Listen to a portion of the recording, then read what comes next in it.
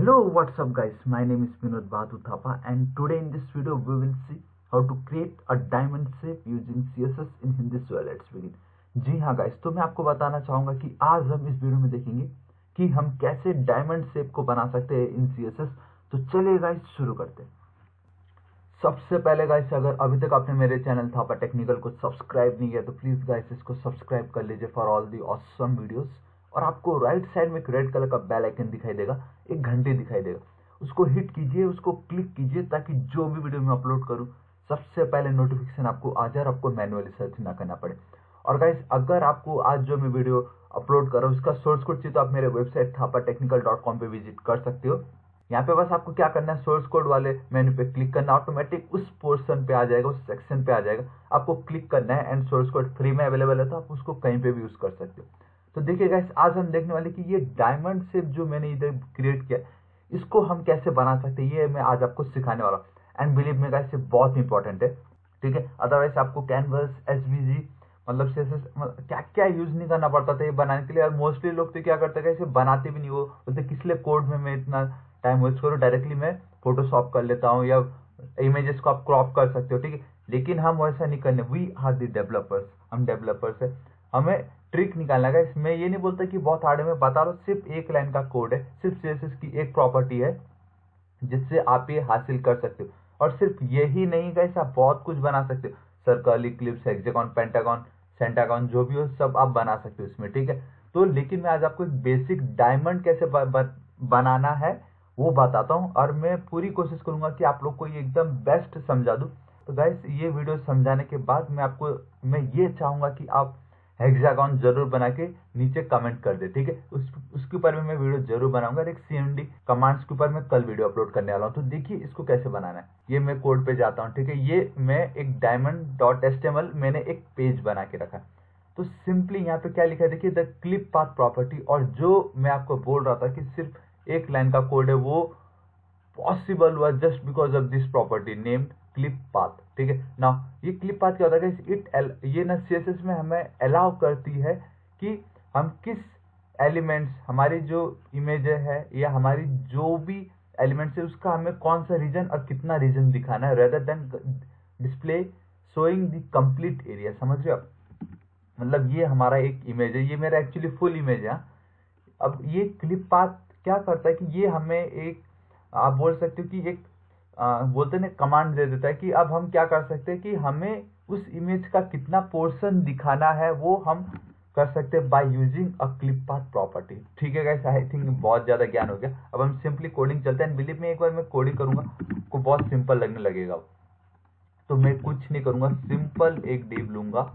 अगर आपको deep all right ठीक है? अगर आपको डीप भी नहीं लेना तो आप सिंपली एक हेडर लीजिए बिकॉज़ सबसे ये एच टी फाइव का पहला रूल ही ये बोलता है कि अगर आप सीमेंटिक कर रहे हो तो आपको हेडर लेना ही पड़ेगा। इससे ये पता चलेगा कि बंदा जो काम कर रहा है वो हेडर के सेक्शन पे ही कर रहा है। फुटर के लिए फुटर हो गया आर्टिकल के लिए आर्टिकल सेक्शन के लिए सेक्शन फ़ोटो के लिए फिगर तो वैसे ही हम हेडर के लिए काम कर रहे हैं, ठीक है? मैं अब इसको ब्लैंक रखूँगा।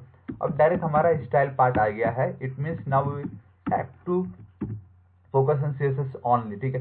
तो यहाँ पे मैंने क्या लिख दिया? स्टाइल लिख दिया नाम। अब हमें स्टाइल सिर्फ़ इस हेडर को करना है बिकॉज़ मैंने हेडर पे बैकग्राउंड इमेज को यूज़ किया है, ठीक है? सिंपली देखिए। तो गाइस मुझे अगर पूरा मुझे स्क्रीन को दिखाना है तो मुझे विथ देना पड़ेगा हंड्रेड परसेंट और हाइट अगर मैं आपको हर वीडियो में मैं बताता हूँ कि ये देखिए, ये मेरा कर्सर टॉप पॉइंट ये है टॉप लेफ़्ट ये मेरा बॉटम राइट ठीक है? तो ये जो पोर्शन है, और ये जो मेरा पोर्शन है टॉप ज़ीरो इजीली बोलो या तो ये बॉटम ज़ीरो इजीली बोल दो तो उसको हम बोलते हैं हंड्रेड वी एच अगर आपको जहाँ से आपका स्क्रीन दिखाना है तो व्यू हाइट ठीक है? ना विथ हुआ हाइट हुआ, अब देखो बैकग्राउंड इमेज चाहिए तो सिंपली बैकग्राउंड इमेज लिखने का, ठीक है? बैकग्राउंड इमेज इसमें U R L all right मैंने ऑलरेडी ये जो इमेज दिख रहा है, ये इमेज के ऊपर भी बहुत इंपॉर्टेंट खेल खेला जाता है इतना मैं बता देता हूँ। क्योंकि ये जो डायमंड से भी मैंने बहुत इमेजेस अप्लाई किए, बिल्कुल अच्छा नहीं लग रहा था बट लकली देखिए, ये एकदम परफेक्ट बैठा है दियर आर नो रूल्स देखो, एकदम परफेक्ट बैठा है, ये इस इमेज के साथ फिट हो रहा है। तो आपको इमेज भी ऐसा देखना है, जो भी आप काम कर रहे हो, उस पर वो फिट आ जाए। समझ रहे हो? मतलब सूट उसके साथ। So diamond dot J P E इस तरीके से लिखा, इसको कंट्रोल एस सेव किया। एक बार मैं इसको रन करके दिखाता हूँ, ये कैसा हो रहा है। आई थिंक ये देखते, दिखता है कि नहीं, फ़िलहाल अभी के लिए। ठीक है, देखिए गाइस ये इमेज कुछ ऐसा था, ठीक है? और देखिए कर्सर आ रहा है कर्सर कभी आना नहीं चाहिए याद रखना। बिल्कुल भी अच्छी आदत नहीं हो। सो so, उसको हटाने के लिए सिंपली मार्जिन ज़ीरो इसलिए हर हर एक डेवलपर सबसे पहले मार्जिन ज़ीरो पैडिंग ज़ीरो लिखता है। मैं हमेशा बाद में लिखता हूँ। मैं कोडिंग के टाइम पहले ही लिखता हूँ लेकिन मैं वीडियो में हमेशा बाद में इसलिए लिखता हूँ। क्योंकि अगर लेट से कि आप अगर मेरे रेगुलर व्यूअर्स हो तो आपको मालूम है लेकिन अगर आप फ़र्स्ट टाइम देख रहे हो तो मैं ये दिखाना चाहता था कि अगर आप ये पोर्सन नहीं लिखते तो क्या जो होता है। अगर मैं पहले ये लिख देता, आप माइंड में सोचता रही क्यों लिखा किस लिए लिखा? तो गैस मार्जिन ज़ीरो और पैडिंग ज़ीरो लिखा इसलिए, क्योंकि एक जो एक्स्ट्रा स्पेस आ रहा है ना गैस तो उसको हटाने के लिए पैडिंग और मार्जिन हमें ज़ीरो कर देते देखिए, ठीक है? बस उसके लिए ही हम ये करता है ये यूनिवर्सल ऑपरेटर है। अब अगर मैं रिफ्रेश करूँगा बूम गाइस देखिए, कोई कर्सर नहीं है, कोई स्पेस नहीं परफेक्टली एकदम आ चुका है देखो, कहीं नहीं जा रहा अभी। इसलिए हम इसको लिखते हैं। अभी जो इमेज है, बहुत हद से ज़्यादा बड़ा दिखाई दे रहा है, लेकिन so background size background size कर दूँगा कवर एंड अब ये लिखिए, नहीं भी लिख सकते बिकॉज़ मेरा जो इमेज है वो पूरा फोर के है तो मुझे लिखने की ज़रूरत नहीं, लेकिन आप लिखिए ये तब। एक अच्छी आदत है कि बैकग्राउंड का जो इमेज है वो रिपीट नहीं होना चाहिए। समझ रहे तो ये देखिए परफेक्टली सेंटर में आ गया। अब जो आप मेन देखना चाहते थे कि हमें डायमंड कैसे बनाना so guys you have to write clip path ये एक प्रॉपर्टीज़ के अंदर एक फ़ंक्शन जिसका नाम है पॉलीगॉन अब पॉलीगॉन एक क्या करता है इसे पॉलीगॉन में हमें ये जितने भी हमने मैथ्स पढ़े हैं, उसमें कोऑर्डिनेट्स पढ़ा है, ठीक है? कोऑर्डिनेट्स एक्स कॉमा ज़ीरो या ज़ीरो कॉमा ज़ीरो ऐसे जो होता है ना coordinates X coordinate Y coordinate तो सेम वही।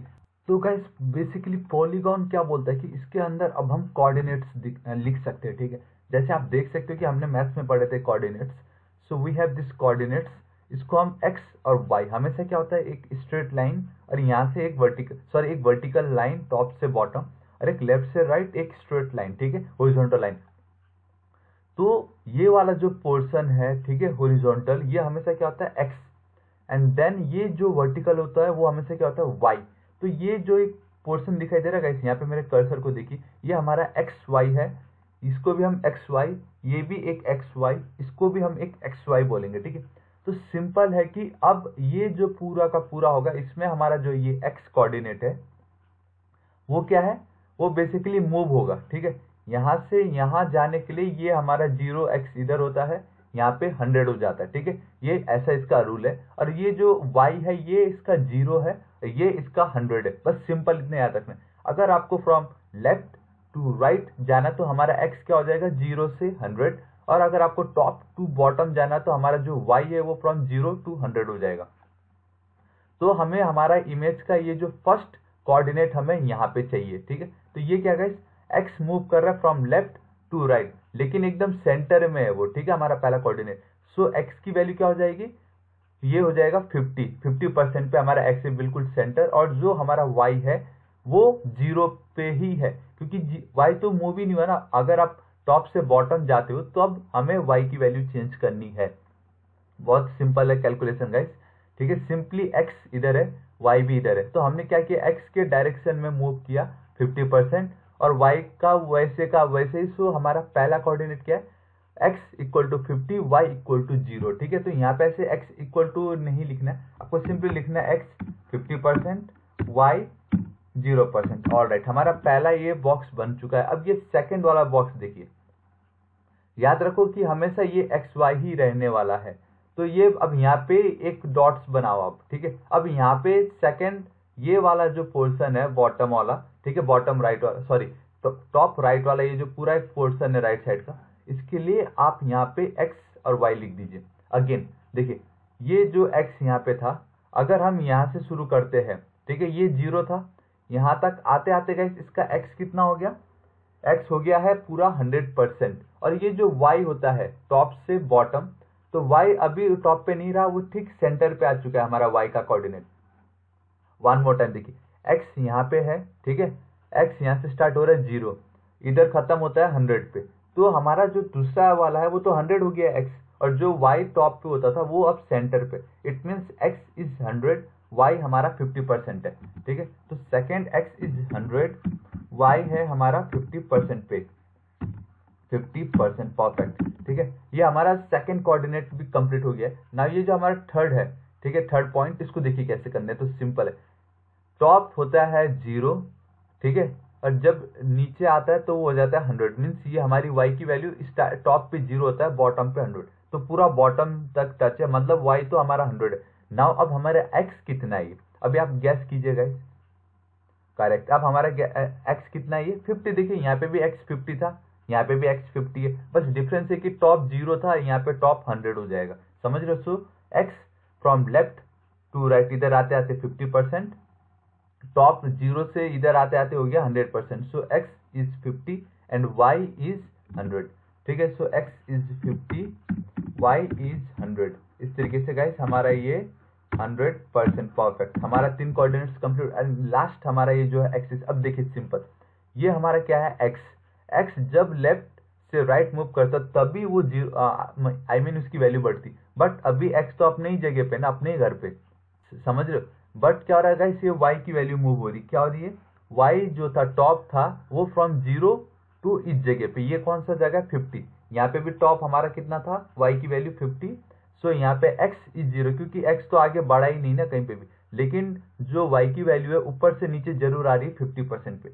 So X is zero Y is fifty zero percent and Y is fifty percent this is it guys बस इतना ही कोड लिखना था आपको। इसको अब इसको ऑलरेडी मैंने यहाँ पे रखा and three two one boom guys देखिए कितना सिंपल था। डिटो सेम टू सेम तो ये होता है गाइस क्लिप पाथ एक प्रॉपर्टी जिसमें पॉलीगन की मदद से हम कोऑर्डिनेट्स देके हम कोई भी इमेज हो, कुछ भी डिव हो या डेटा हो ब्लॉक हो, कुछ भी, उसको हम जैसा शेप चाहे वैसा दे सकते हैं। मैंने बताया ना आपको triangle rectangle circle square pentagon hexagon जैसा आपको देना आप दे सकते हो। मैंने ये डायमंड शेप आपको बना के दिखाया। एंड बिलीव में गाइस लोगों को बहुत मुश्किल आता है ये। ठीक है वो क्या करते हैं? फोटोशॉप कर देते हैं। लेकिन अब आपको पता चल गया कि आप कैसे कर सकते हो by using a simple clip path property तो गाइस ये आपका टास्क है कि आज नीचे, ठीक है, इसका कोड मैं अपने वेबसाइट पे दे दूँगा। तो आप क्या कीजिए वेबसाइट के उस लिंक पे क्लिक करके, उसके कमेंट सेक्शन पे गाइस आप इससे इसी क्लिप पाथ पे पॉलीगॉन यूज़ करके हेक्सागन कैसे बना सकते ऑल ठीक है हेक्सागन मैं बना दूँगा। आप ट्राइंगल बनाइए, ठीक है ट्राइंगल ठीक है ट्राइंगल बनाइए, ठीक है। सो आई होप गाइस आपको मेरा वीडियो पसंद आएगा और आपको आज एक न्यू सीखने मिला होगा जहाँ पे आपने सिर्फ़ देखा, एक लाइन के कोड से हम इतना ब्यूटीफुल शेप बना सकते। सो गाइस अगर आपको मेरा वीडियो पसंद आया तो प्लीज़ इसको लाइक कीजिए। मेरे चैनल थापा टेक्निकल को ठीक है? और इस आई I मीन mean, इस वीडियो को लाइक कीजिए और मेरे चैनल थापा टेक्निकल को सब्सक्राइब करना बिल्कुल मत भूलिए तो इसको सब्सक्राइब ज़रूर कीजिए ठीक है? सब्सक्राइब बटन पे ऐसे क्लिक करके राइट साइड में एक रेड कलर का बेल आइकन दिखाई देगा घंटी दिखाई देगा।